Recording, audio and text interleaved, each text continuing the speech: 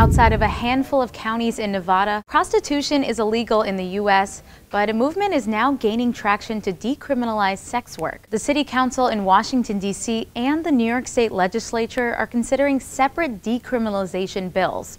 Under them, selling and buying sex would still be illegal, but would carry no criminal penalties. The push has largely been led by sex workers themselves, who say current laws make them vulnerable to violence and harassment while doing nothing to curb the demand for buying sex. Others make the case that sex work is a legitimate profession that should be afforded all the rights and protections given to other jobs. Sex work is inherently work.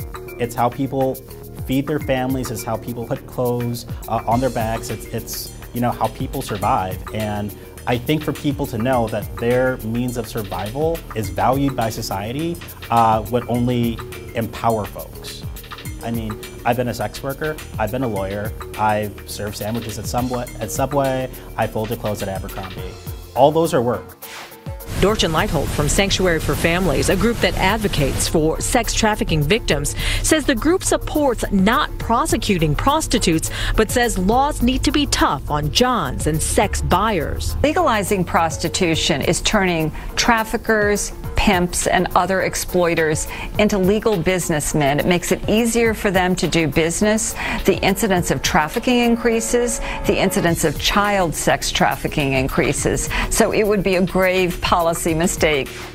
Do you think that sex work ought to be decriminalized? I think so. I do. I think that we have to understand, though, that it is not as simple as that. It is also about a, a, a, there is a there is an ecosystem around that that includes crimes that are that harm people. But when you're talking about consenting adults, I think that you know, yes, we should really consider that we can't criminalize consensual behavior as long as no one is being harmed. But at the point that anyone's being harmed or exploited, then I think we have to we have to understand that's a different matter. She says the fact that the job that she chose to do is illegal poses the real public safety threat, not the job itself.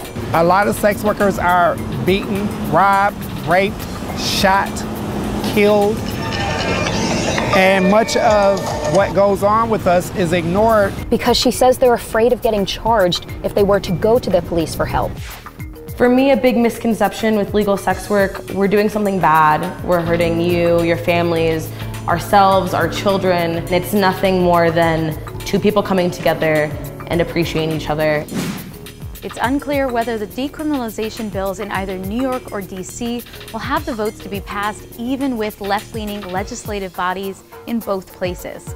I'm Kayla Jardine. That's a look at the 360.